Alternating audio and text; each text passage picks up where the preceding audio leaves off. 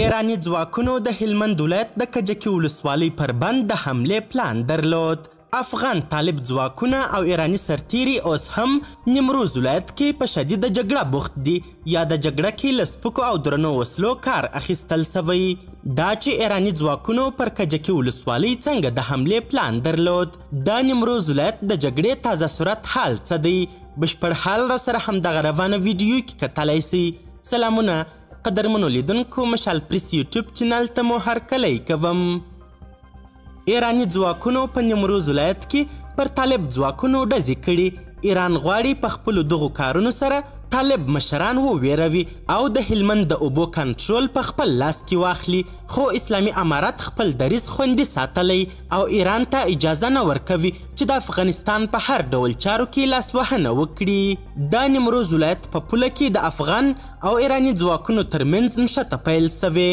راپورونه وايي چې له ایران سره د افغانستان د نیمروز ولایت پولې په اوږدو کې د ایراني پولساتو او افغان طالبانو ترمنځ له نن سهار راهیسې جګړه پیل شوې ده. د ایران فارس خبري اژانس چې د دغه هیواد په سپه پاسداران پورې اړوند دی، ویلي چې نښته د ساسولې پوستې په شاوخوا کې پیل شوې او لا هم دوام لري.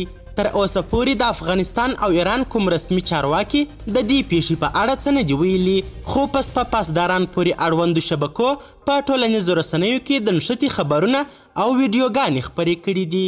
د سپه پاسداران سایبري ځواک نن شنبه، په ټلګرام کې د نښتې ویډیو خپره کړې او ویلي چې دا ویډیو د دواړو خواو ترمنځ د ډزو تبادله ښیي. دې شبکې تېره اونۍ هم د افغان طالبانو او ایراني پولساتو ترمنځ د شخړې ویډیو خپره کړې وه او لیکلي وو چې دا لانجه په سرحدي سیمه کې د استحکاماتو د نصبولو په ترڅ کې رامنځته شوې ده.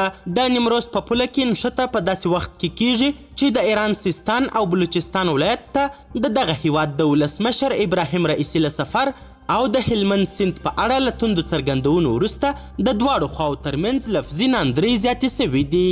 قدرمنو لیدونکو د ویډیو له کتلو مو نړۍ مننه، د لا زیاتو او نورو لحظه پر لحظه خبري مطالبو لپاره زموږ همدغه مشال پریس یوټیوب چینل سبسکرایب کړئ، تر بیا او بلې ویډیو ښه وخت ښې چارې د الله په امان.